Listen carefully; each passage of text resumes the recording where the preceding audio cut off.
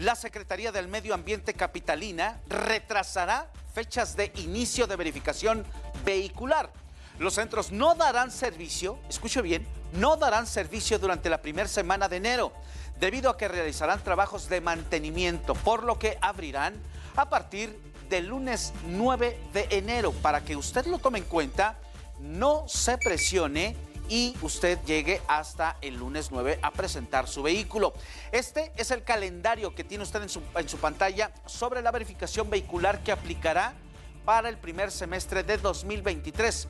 Los autos con engomado amarillo, terminación de placas 5 y 6, deberán verificar en enero y febrero. Los de engomado rosa, placas terminación 7 y 8, en febrero y marzo. Engomado rojo, terminación de placas 3 y 4, marzo y abril. Verde, recuerde que los vehículos con engomado verde, terminación 1 y 2, será para abril y mayo, como dice la canción, para abril o para mayo.